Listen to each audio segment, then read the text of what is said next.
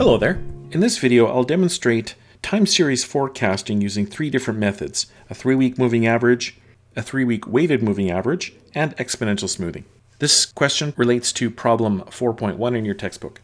We have six weeks of previous time series data provided to us ranging from August 1st to October 5th, so we can call that weeks 1 through 6. And we also have actual demand for pints of blood provided in the hospital over the past six weeks. Our first objective is to forecast the demand for October 12th or week 7 using a three week moving average. We'll do all of these first manually and then I'll show you how to do them using the Excel OM add-in. So for A, using a three week simple moving average, we'll just call that MA. We always work backwards and we'll take the three previous periods. So that is 381 plus 368 plus 374 divided by 3, and that'll give you a forecast of 374.3 pints of blood. Easy peasy. Requirement B, we're now going to use a three-week weighted moving average. So what we have here are three weights of 0.1, 0.3, and 0.6, with 0.6 for the most recent week. Our weights then will be 0.6, 0.3, and 0.1. The weights all have to add up to, in this case, 100% if you're using fractional weights like this. For our three-week weighted average calculation, we would take 0.1 times 381 plus 0.3 times 368 plus 0.6 times 374, and those will work out to a weighted moving average of 372.9 pints. In this case, you're not adding them up and dividing by anything.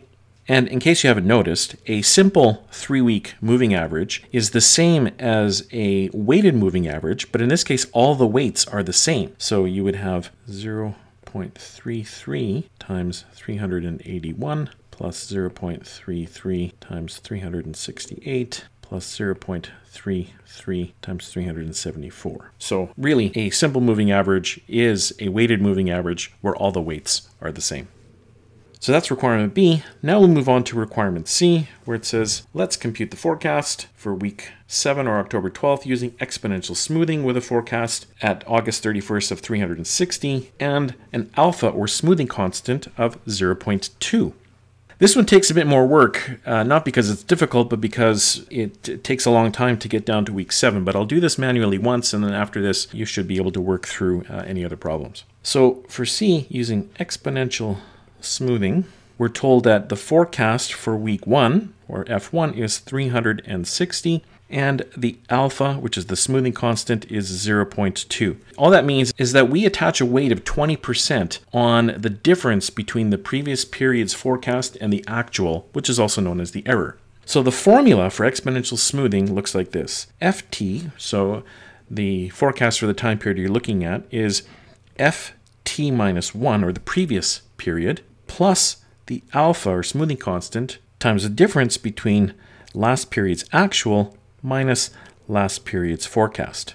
So our forecast for week one is already provided to us at 360. We need a forecast to kick us off. The forecast for week two is going to be the forecast for week one, which is 360, plus 0.2 times the difference between the previous period's actual, which is 360. Incidentally, just to make sure you're on the same page, that this last column refers to actual demand, A.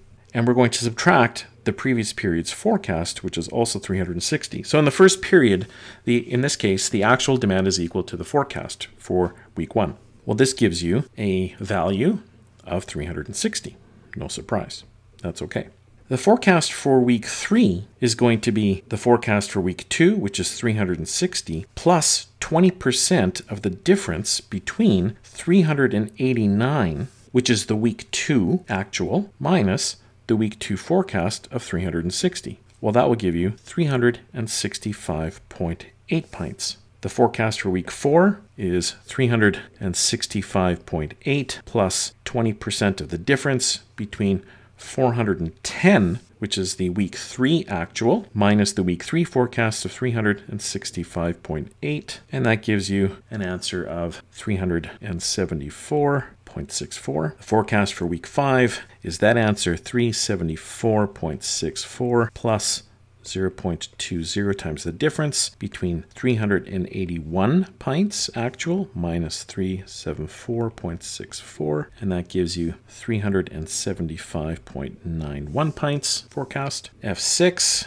is 375.91 plus 20% of the difference between 368 minus 375.91. That gives us 374.33. And then finally, the forecast for period 7, which is the one we're looking at, is 374.33. Again, that is the F6 forecast plus 20% times the difference between the week 6 actual of 374, so this is A6, minus the F6 374.33, and that is 374.26. So there you have it. Manual calculations of a three-week moving average, a three-week weighted moving average, and then exponential smoothing. Now I'll show you how to do this using Excel OM, and it'll be a lot quicker and more fun. So once you have Excel OM properly installed on your computer, uh, make sure that you read the directions for other Mac or PC. You launch it by selecting the appropriate um, uh, alias or icon that's installed on your desktop or in the download folder. And you'll be asked if you want to uh, enable or disable macros. You need to enable the macros, otherwise it won't work properly. And you may see this come up twice, so just make sure you enable it. Then what you should see is in the ribbon or in the top toolbar, somewhere you should see an Excel OM menu. And then if you click on that, then your options in the ribbon show up as they relate to the Excel OM product. So what we want to do for forecasting is you can select by chapter and a yellow box will pop up and you want forecasting. And the first one that we want to do for this problem is going to be using a three week moving average. So uh, you can also increase the size of the font uh, for the menu. Uh, so we want a forecasting moving average uh, and naive. So we'll click that and then you see this pink uh, box come up and we'll just give it a title. This is for problem 4.13 month moving average, and we'll also put that in the sheet.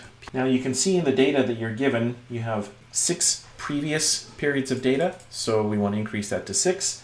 Uh, and these are for weeks, so we'll just change the period name to week. And our first requirement is asking us to do a three week moving average. So we'll increase the number of periods average to three. You can leave the options for tracking signal and graph off for now. Hit OK, and it will create a spreadsheet for you and we'll just zoom in. And as you can see, we have weeks one through six, and we'll enter the demand as given in the problem. So 360 pints, 389, 410, 381, 368, and 374. And then you can see right here, you end up with an answer of 374.33, which is the next period or week seven forecast based on a three month moving average. And that's all there is to it. If you want to increase or decrease the number of periods, uh, just move the slider back and forth. The next requirement is to use a three-week weighted moving average. So you can add as many tabs to the sheet if you want. So we'll just go back and select the uh, OM again, and this time we want a weighted moving average. We'll give this one a name of P 4.1, and we'll call this 3WMA for weighted moving average. Uh, we still want six previous periods of data. We'll still give it a week. And we also want to average three periods. So we'll click that and then a new sheet is generated. We'll zoom in. Uh, now to avoid having to duplicate our work, we can just copy uh, and paste the demand that we already had in the problem from the previous model. Uh, and this time we want to put in weights. So the problem is directing us to give us weights of 0.1, 0.3, and 0.6, with 0.6 for the most recent week. Usually the most recent periods are weighted the highest. So 0.6, 0.3, and 0.1. And as you can see, the sum of all the weights should act, uh, equal 1.0 or 100%. And presto changeo, right away, the next period's forecast for week 7 is 372.9 or 373 pints, since we really can't have a partial pint. So that's how you use it to do a uh, weighted moving average. Our third requirement is to do the forecast again for week 7 or October 12th using exponential smoothing. So we'll just go back to OM again. The little box pops up. This time we want to pick exponential smoothing from the menu. Let's call this one P4.1 Expo for exponential smoothing. We'll give it that name in the tab as well. Uh, we want six previous periods of data. We call them weeks, and we'll leave the options blank for now. Hit OK, generates an empty sheet. We'll just go back and select the same demand. I'll just copy and paste those so we don't have to retype them. And we're asked to use an alpha smoothing constant of 0.2. And you can see that the forecast model automatically defaults by uh, putting the, force, the first forecast to be equal to the first period's demand.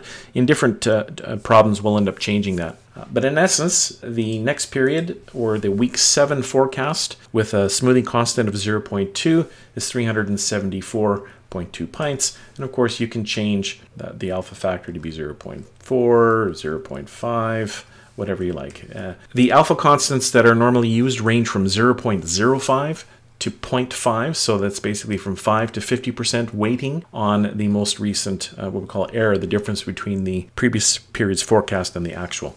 And that's how you use Excel OM to solve the three requirements for problem 4.1.